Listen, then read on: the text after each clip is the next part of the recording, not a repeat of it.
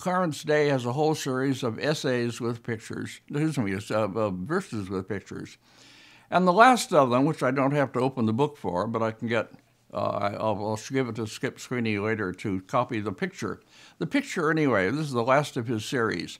And it's about himself, and it shows him himself uh, caricatured by himself with his glasses on, being pulled off the screen by some creature.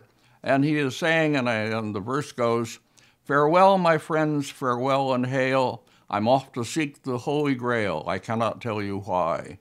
Remember, please, when I am gone, 'twas aspiration led me on. Tiddly widdly toodaloo, all I want is to stay with you, but here I go, goodbye. So there, that's uh, a suitable verse, not very profound, but just right for my purpose to uh, uh, sort of bid farewell and, and say how happy I've been to have this, I say, long and successful and rewarding career with so many marvelous people in it and so many publications and all the things that I've loved doing. And so, tiddly widdly toodaloo and farewell. Uh, uh, yours truly, James Cahill. The end. Turn off the machines. Thank you.